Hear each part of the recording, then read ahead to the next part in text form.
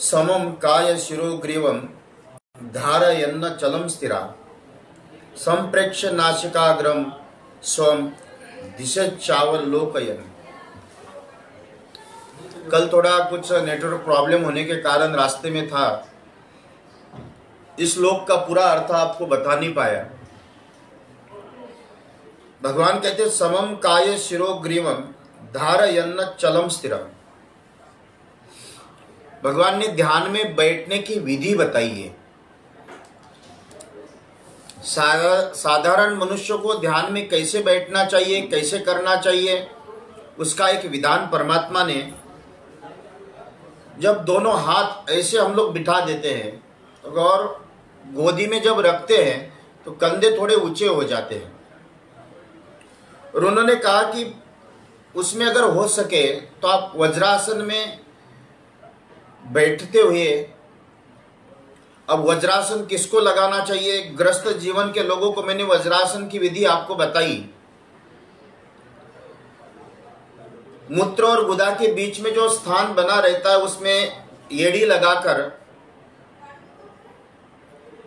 बैठकर, आँख जो आती है, आँख अपने आप ही आधी आधी खुली हो जाती है आँखें। ऐसी जिसको हम कहते हैं कि थोड़ी आँख अर्ध, इसको अर्धोन्मूलन आँख का है। संस्कृत में अर्धो मिलन आँखें का अर्धोन्मिलन। मतलब थोड़ी आँखें आधे खोल के नासिका का अग्रभाग देखते हुए उस एकाग्र होकर कभी कभी आँखें ऊपर भी चढ़ जाती है। आँखें बंद हो जाती है, किसी की आँखें यहाँ आती है, किसी की आँखें ऊपर चढ़ जाती है। और वो चढ़ते हुए उसमें अपने आप नेत्र के जितने भी हमारे अपने आप पल के बंद होकर, बाहर की तरफ़ नासिकाग्रा के ऊपर एकाग्र होता है व्यक्ति और फिर धीरे धीरे धीरे उसकी दृष्टि जो है भीतर की ओर जाने लगती है। जो बाह्य जगत जैसा ये आँख हमारे कर्मेंद्रिय जो है आँख, नाक, कान, जिह्वा, मल, मूत्र, इनकी सभी की दिशा बाह्य जगत की ओर है। अंतर जगत में नहीं है। ध्यान में आँखें भी देखते हैं तो बाहर के देखते हैं, कान सुनता है तो बाहर की सुनता है, लेकिन धीरे धीरे आपके अगर यहाँ नासिका के ऊपर या ऊपर की तरफ़ अगर आके चली जाने लगे तो ये श्रेष्ठ लक्षण बताए। अपने आप, उसके लिए प्रयास करने की ज़रूरत नहीं है। साधना में बैठते हुए अपने आप ही। और ये ठुड्डी जिसको कहते हैं, हम लोग ये ठुड्डी इसको यहाँ ठुड्डी बोलते हैं। ये ठुड्डी यहाँ जहाँ खड्डा होता है यहाँ यहाँ अपने आप ही लग जाती है ऐसी। ठुडी का भाग। इसको भी जब वह ठुडी अपने आप नीचे उस खड्डे में चले जाए, और उसमें जब आपका सिर छाती के और अपने आप में मुड़ने लगता है, और जब कंठ नलिका उसमें अपने आप फंसकर समेट व समेट जाती है, उसको जालंधर बंद कहते हैं। अब किसी को सर्वाइकल पेन ज़्यादा हो या बहुत ज़्यादा हो तो उसको नहीं करना चाहिए। और फिर जब यह होने लगे तो जो हृदय लोग कहा गया है और हृदय लोग अपने आप में प्रसन्न और प्रफुल्लित होता है। उसको उद्यान बंद मुद्रा में बैठकर बाह्य अंगों पर जब हम लोग प्रभाव डालते हैं, उसका अभ्यास करने लगते हैं तो धीरे धीरे धीरे धीरे अपने आप ही वो, उस मार्ग समम काय शिरोग्रीव धारय अन्न चलम स्थिरा। जहाँ समम ग्राह्य अब सम कहा गया। संप्रेक्ष नाशिकाग्रम संप्रेक्ष नाशिकाग्रम या नाशिका का अग्रभाग परमात्मा ने कहा। दिश चावलोकयनम जहाँ अपने आप ही समाप्त, उसकी ओर जाने लगते हैं। आगे का श्लोक और भगवान ने ध्यान में बैठने का विधान बताया, प्रशांतात्मा विगतर, प्रशांतात्मा विगत भीत, क्या कहा? प्रशांत आत्मा विगत भीर ब्रह्मचारी व्रते स्थिता, मना संयम में मच्चित्तो युक्त आशित मत परा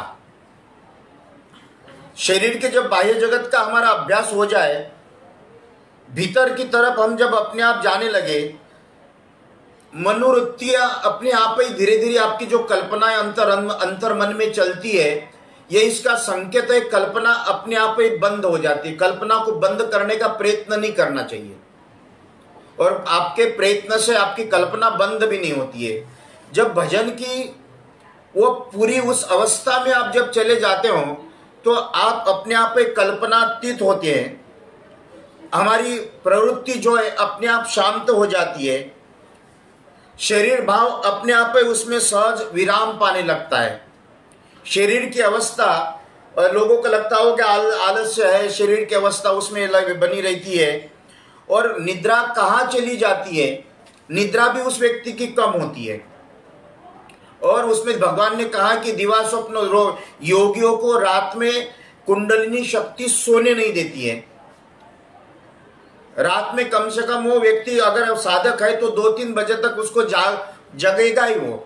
ये इसका स्वभाव लोगों को लगता नींद नहीं आ रही, या नहीं आ रही। अपने आप ही उन्होंने भगवान ने कहा, मना संयम में मच्युत युक्त आश्रम मत परा। उसमें निद्रा कहा चली जाए, अपने को ही पता लगता है।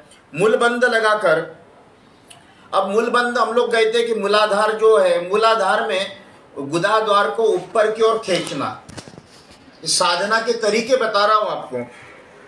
और फिर अपन अपने आप को सम्यक होकर, अपान वायु जब हमारे शरीर में पीछे के तरफ़, आपको पता होगा, अपान वायु लेने के तरीके रीढ़ की हड्डी है। रीढ़ की हड्डी से वो श्वास लेता है और वो पलटने लगता है। पलटना मतलब उल्टा चलना, वो उल्टी चलती है, श्वास ऊपर की ओर बढ़ने लगता है उसका। और उसके ऊपर अपने आप वो दबाव, आपको दबाव देने की ज़रूरत नहीं है, वो फूलने लगती है। और जब कुपित हो जाती है अपान वायु तो अपान वायु कुपित होने के बाद अपने आप उसमें कभी कभी जैसे आप बादल की आवाज़ सुनते हो तो बादल की गड़गड़ाने की आवाज़ आपके शरीर में आने लगती है। गड़गड़ाते हुए नाभि प्रदेश में जो मणिपुर चक्र स्थित है उसमें रह रह कर कभी कभी धक्के लगते हैं। आपको लगना आप किसी को, योगी को पूछो, मुझे होता है। आपको झटके लगते हैं, आप नींद में भी हो तो आपको झटके लगते हैं।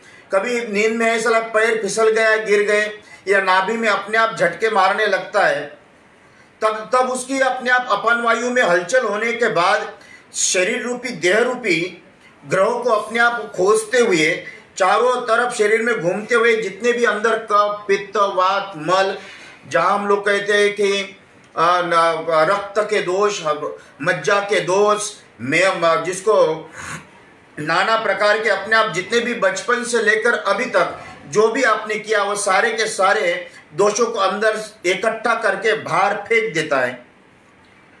और अपान वायु की तरंगे अपने आप ही शरीर में भागने लगती है, घूमने लगती है। और घूमते घूमते घूमते उसके देह में अपने आप तरंगे वह अपने स्वरूप में, शरीर में हल्कापन आता है। ये वायु तत्व की साधना का एक प्रकार माना है।